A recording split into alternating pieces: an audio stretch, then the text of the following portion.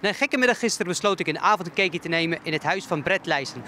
Zijn stiefvader deed de deur open en het gesprek ging als volgt. Ik wil nu willen dat je hier onmiddellijk gaat vertrekken of ik bel de politie. Je kunt kiezen. Maar wacht even, vindt u het normaal dan wat, wat, wat, wat Brent gedaan heeft?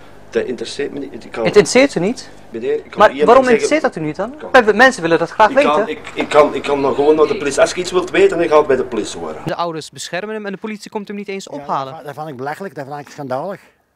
Dat vind ik helemaal schandalig. Die moeten ze gewoon komen halen en vastzetten. Maar als dat, u, als dat uw zoon was, wat had u gedaan? Oh, die, had- die, hadden, die hadden al doodgeslagen. Ik heb gisteravond de stiefvader van Brent gesproken. Wij staan nu weer voor zijn huis. Zodra hij naar buiten komt, dan wil ik hem een paar vragen stellen. Ik ga over hem af, Daan. Kom. Ja? Maar wat vindt u van zijn actie? Wat vindt u van zijn actie? Doe eens even rustig, joh. Wat vindt u nou van zijn actie? Wanneer gaat hij zich aangeven bij de politie? Wanneer gaat hij zich aangeven? Dit is dus dag 2. We zijn nog op steeds op zoek naar de hoofddader. Hij woont hier binnen. We hebben net eh, een van zijn familieleden gesproken. En die rende eigenlijk vrijwel meteen naar binnen. En die wilde ons ook niet te woord staan. Als je zoiets doet, dan ben je geen lieve jongen natuurlijk. Eh, ik vind dat ze hem gewoon moeten opsluiten. Hij is het niet waard om... eh enfin, misschien... Ah, ja, ik vind het eigenlijk niet waard dat hij hier nog rondloopt. Zoiets kan je gewoon niet doen, zeg maar. Eh, wanneer wordt die jongen hier eh, thuis opgehaald? Daar ga ik geen eh, commentaar op geven. Hè. Want hij komen loopt nog steeds vrij rond. En dat eh, die jongen in Nederland is wij komen, mishandeld. wij komen nu voor u. Hè. U komt voor mij? Ja. Oké. Wij komen tegen u zeggen dat je de mensen wel met rust moet laten. Ik sta hier buiten, dus ik doe geen niks. Je verkeerd. mag uw werk hier doen, geen enkel probleem. Prima. Maar dat je de mensen wel met rust moet laten. Oké, maar eh, En voor de rest zou ik graag hebben dat u nu het voertuig dat ga ik nu doen. Oké? Dank u wel. Goeiedag. Nou, de Belgische politie eh, houdt zich mee bezig met hoe wij staan. En dan eh schijnbaar met de zaak zelf. Mijn moeder zou me denk ik sowieso wel aangeven bij de politie. Want ik kan niet, ook al is het je zoon, eh, ik kan hem niet blijven beschermen. Uiteindelijk zal hij toch gevat worden natuurlijk. Wacht, wacht, wacht, wacht. Zodra je naar buiten komt. Zodra je de, deur... de, de politiebusje komt er nu aan.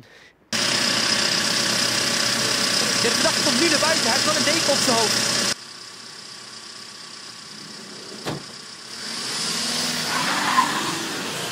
Ja, ze nu weg. Zo, dat ging heel snel.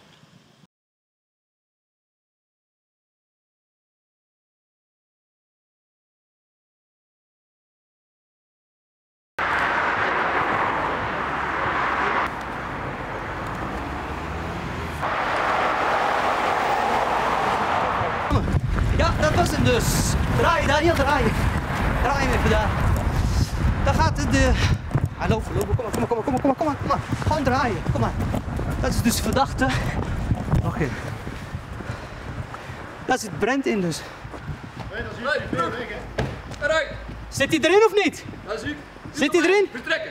Nu. Zit hij erin? Vertrekken. Naar buiten. Nou, we worden eruit geschopt. Dit is geen openbaar domein. Ik mag nu naar buiten Nou, de verdachte is dus eindelijk opgepakt. En hij is nu... Hij wordt nu naar binnen begeleid. Inmiddels zitten alle acht verdachten vast. Afgelopen vrijdag hebben drie van die jongens in dit café achter mij voor problemen gezorgd en ze zijn meteen verwijderd. En inmiddels zijn ze ook niet meer welkom daarbinnen.